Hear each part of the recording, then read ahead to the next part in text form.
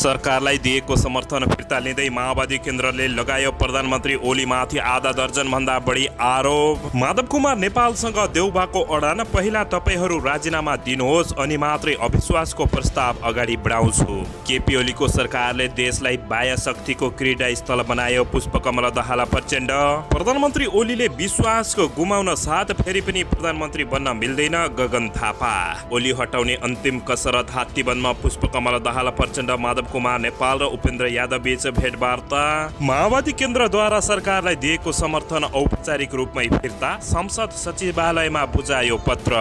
र जनता छटपटाउँदै अस्पतालको बेडमा राजनीतिक दल भने सत्ताको खेलमा। अब हेर्नुहोस् पुरा समाचार। दर्शकबिन नमस्कार। तपाईँहरू यति बेला हेर्दै हुनुहुन्छ युआर नेपाली युट्युब च्यानल।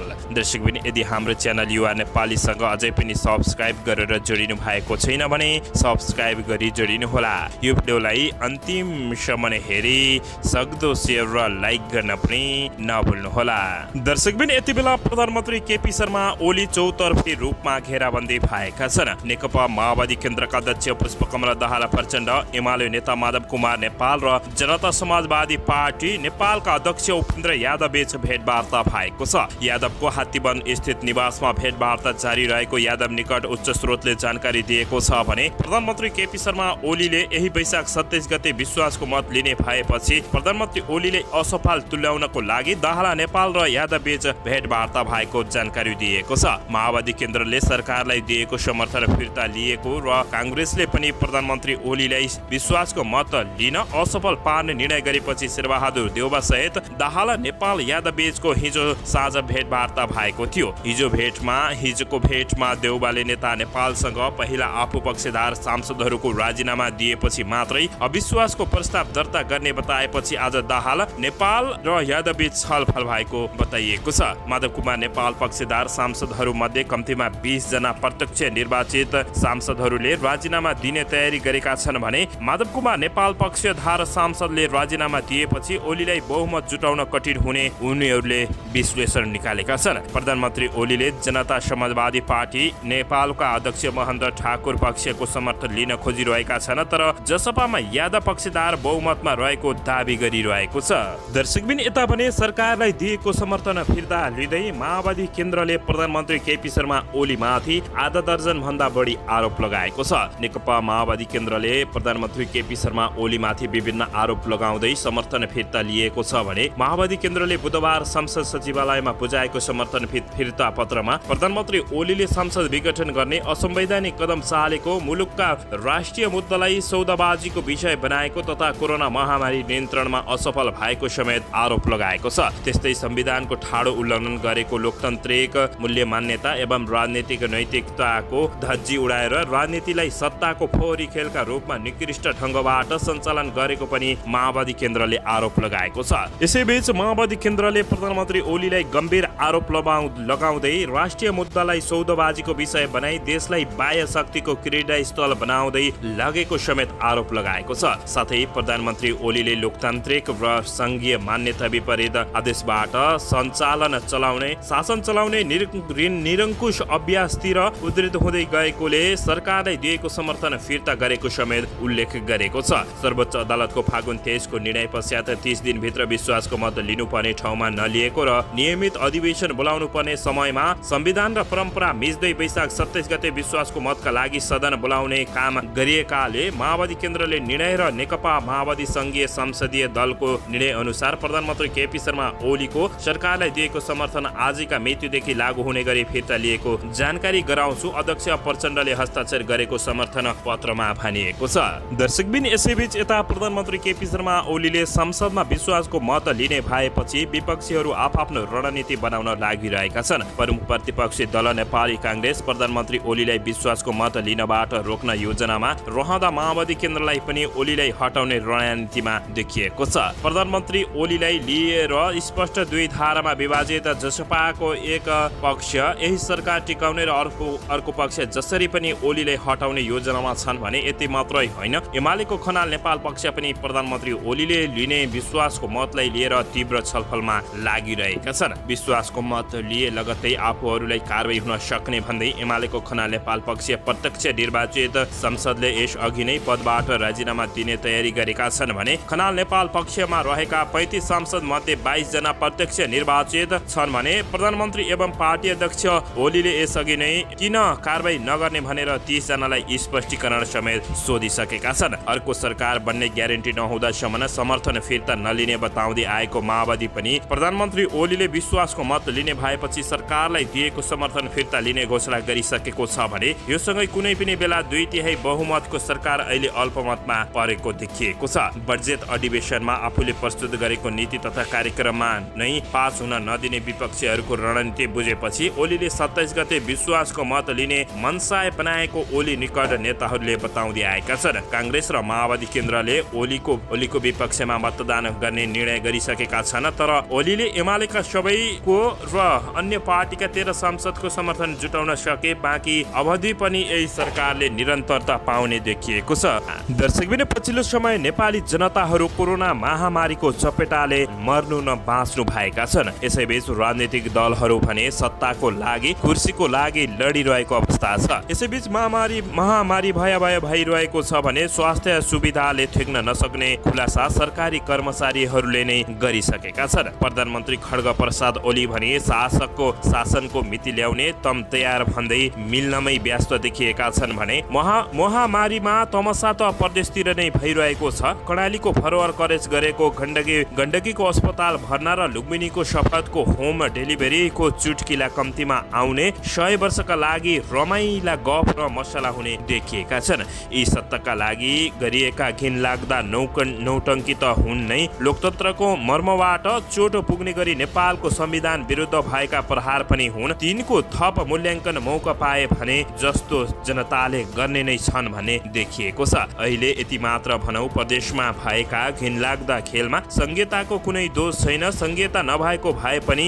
बुवासाहरूले सत्तामा लुची चाँडी गर्ने नै थिए। अवश्य पनि यिनीहरूले कुनै हालतमा मान्छे मरोस् या नमरोस् कुनै मतलब हुने थिएन। यिनीहरूले छाड्ने नै थिएनन्। गत साताको सात दिनभित्र दुईवटा राजनीतिक निर्णय भएका छन्। पहिलो हो प्रतिनिधि सभा विश्वासको मत लिने। प्रधानमन्त्री ओलीको निर्णय अर्को हो प्रधानमन्त्री ओलीलाई दिएको समर्थन फिर्ता लिने। नेकपा माओवादी केन्द्रको निर्णय। यी दुवै अराजनीतिक प्रकृतिका राजनीतिक निर्णय हुन्। सांसदीय परम्परा अनुसार यद्यपि दुवै निर्णय निकै ढिला भएकोले तिनको नैतिक धरतल भने भइसकेको छ भने सर्वोच्च अदालतले संवैधानिक इजलासले प्रतिनिधि सभा विघटन गर्ने आफ्नो कदमलाई असंवैधानिक कु ठहर गरेर बदर गरेकै दिन प्रधानमन्त्री ओलीले नैतिकताका आधारमा राजीनामा दिनुपर्ने थियो। नैतिकतालाई महत्व नदिए पनि उनले सदनबाट विश्वासको मत लिने घोषणा उति बेलै गरेका भए त्यो सही राजनीतिक कदम ठहरिने थियो। कम्तीमा उनले फागुन तेइस गते नेकपाका दुई घटक एमाले र माओवादी केन्द्रलाई सर्वोच्च अदालतले अलग गरिदिएपछि त विश्वासको मत लिनै नै पर्ने देखिएको थियो। दर्शकबिन सर्वोच्च अदालतकै आदेश अनुसार बोलाइएको सांसदको अधिवेशन चालु छँदै पनि उनले विश्वासको मत लिन खोजेको भए पनि व्यावहारिक हुन्थ्यो तर उनले अहिले आएर विश्वासको मत लिन खोजेका छन् र त्यसका लागि प्रतिनिधि सभाको विशेष अधिवेशन बोलाइएको छ। यही जेठ पन्ध्रमा त संविधान अनुसार पनि बजेट प्रस्तुत गर्नै पर्छ। त्यस त्यस अघि संसदले सरकारको नीति र कार्यक्रम पारित गर्नुपर्छ। यसै यसैले वैशाख सत्ताइस गते विशेष अधिवेशन बोलाउनुको कु तुक र तर्क सोझो आँखाले देखिँदैन। कतै जेठ पन्ध्रकै दिन बजेट पेश गर्ने परे संवैधानिक प्रावधान मिच्ने षड्यन्त्र त होइन भन्ने पनि देखिएको छ। दर्शकबिन यति बेलामा भने माओवादी केन्द्रले तोक न तर्कको समर्थन फिर्ता लिएको छ भने यता देशमा काङ्ग्रेस पनि रहेछ त भन्ने पनि महसुस जनताहरूले गरेका छन्। जे भयो भयो अब सुध्रिने कि भनेर यी नेताहरूलाई नेपाली जनताहरूले भने पनि यिनीहरू कोहीले कदापि पनि सुध्रिने अवस्था देखिएको छैन।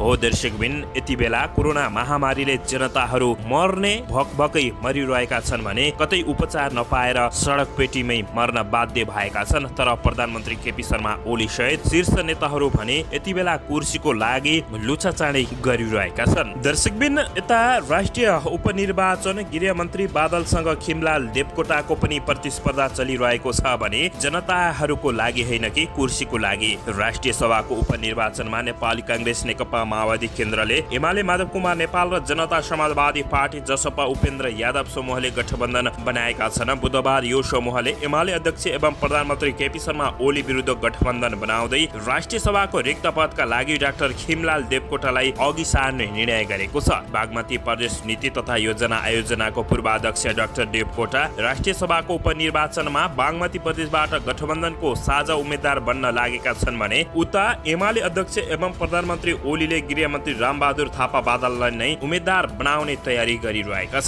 माओवादीबाट निर्वाचित बादलले दल त्याग गरेपछि रिक्त राष्ट्रिय सभा सदस्य पदमा उपनिर्वाचन उपचुनाव हुन लागेको हो भने बागमती प्रदेशको एक सिटका लागि जेठ छ गते उपचुनाव हुने भएको छ। बुधबार बिहान माओवादी केन्द्रका अध्यक्ष पुष्पकमल दाहाल प्रचण्ड माधव कुमार नेपाल र उपेन्द्र यादव बीचको छलफलपछि देवकोटाको उम्मेद्वारीमा सहमति जुटेको छ। प्रचण्डले उपनिर्वाचनमा सहकार्यका लागि काङ्ग्रेस सभापति शेरबहादुर देउबासँग समेत छलफल गरिसकेका छन् भने ओली विरुद्ध गठबन्धन बनाएर बागमती र लुम्बिनी प्रदेशको एक एक सिक्का लागि हुने उपनिर्वाचनमा साझा उम्मेद्वार बनाउने सहमति यो समूहले गरेको छ भने बागमती प्रदेशबाट डेपकोटालाई उम्मेद्वार बनाउने निश्चित भए पनि लुम्बिनी प्रदेशको उम्मेद्वारको भने टुङ्गो समेत लागिसकेको अवस्था छैन। दर्शकबिन यता भने प्रधानमन्त्री केपी शर्मा ओली विरुद्ध माधव कुमार नेपाल पक्षका नेताहरू खरो रूपले उत्रिएका छन्। यसैबीच प्रधानमन्त्री ओली विरुद्ध रामकुमारी झाँक्रिकले उद्घोष गर्दै हामी त डुब्छौ नै तिमीलाई पनि लिएर डुब्छौ भन्दै अभिव्यक्ति दिएकी छिन् नेकपा एमालेकी नेत्री रामकुमारी झाँक्रीले पार्टी अध्यक्ष केपी शर्मा ओलीलाई सत्ताबाट हटाएर छाड्ने साङ्केत र चुनौती दिएकी छिन् साङ्केतिक रूपमा ट्विट गर्दै झाँक्रीले आफूहरू डुबेर भए पनि ओलीलाई नछाड्ने उद्घोष गरेकी छिन् प्रधानमन्त्री ओलीले वैशाख सत्ताइस गते विश्वासको मत लिने निर्णय गर्दा माधव कुमार नेपाल समूहले फलो करस हिप उल्लङ्घनदेखि भोटिङ अगाडि नै समूह सामूहिक राजनीतिको तयारी गरेका खबरहरू अहिलेका बेला त्यसलाई बल पुग्ने गरी झाँक्रीले बोलेकी छिन् कुमार नेपाल समूहमा रहेकी नेत्री झाँक्रीले प्रधानमन्त्री ओलीतर्फ सङ्केत गर्दै भनेकी छिन् हामी त डुब्छौँ नै हामी सत्यनाश हुनु नै छ। तपाईँलाई पनि लिएरै डुब्छौँ यदि हाम्रो सत्यनाश हुनुबाट र डुब्नबाट जोगिनु छ भने किनारा खोज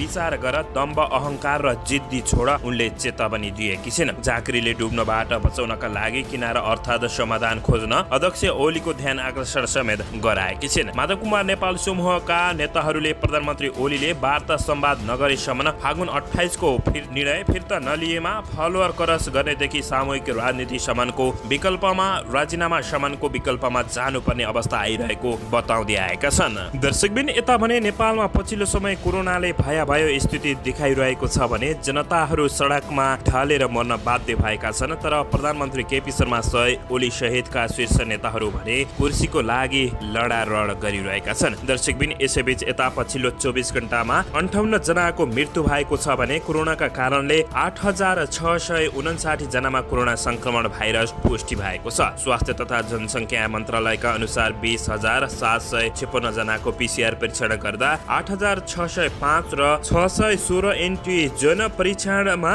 चौन्न जना गरी आठ हजार छ सय उन्साठी जनामा कोरोना संक्रमण पुष्टि भएको छ भने यस बीचमा अन्ठाउन्न जना नेपालीको कोरोनाको कारण मृत्यु भएको छ। दर्शकबिन माओवादी केन्द्रद्वारा सरकारलाई दिएको समर्थन औपचारिक रूपमा फिर्ता लिएको छ भने प्रधानमन्त्री ओली विरुद्ध काङ्ग्रेस माओवादी केन्द्र एमालेको नेपाल समूह र जसपाको तर्फबाट यादव समूहको गठबन्धन सुरु भएको छ। ओली विरुद्ध एक हुँदै नेताहरू विश्वासको मतलाई फेल खुवाउने रणनीतिमा अगाडि सक्रियता बढाइरहेका छन् भने ओली विरुद्ध रामकुमारी झाँक्रितको उद्यो उद्घोष हामी त डुब्यौ नै तिमीलाई पनि लिएर डुब्छौ भन्दै उनले यस्तो अभिव्यक्ति दिएकी छिन्। यसैबीच यता प्रधानमन्त्री केपी शर्मा ओलीमाथि पुष्पकमल दाहाल प्रचण्डले आरोप लगाउँदै राजनीतिलाई सत्ताको फोहोरी खेल बनाएर राष्ट्रियमाथि सौदाबाज गरेको समेत आरोप लगाएका छन्। प्रचण्ड माधवलाई नडराई अगाडि बढ्न उपेन्द्र यादवले प्रतिज्ञा गरेका छन् भने उपेन्द्र यादवको निवासमा प्रचण्ड पुष्पकमला दाहाल प्रचण्ड नेपाल छलफल ओली विरुद्ध छलफलमा लागिरहेका छन् भने ओली विरुद्ध मोर्चाबन्दी गरेर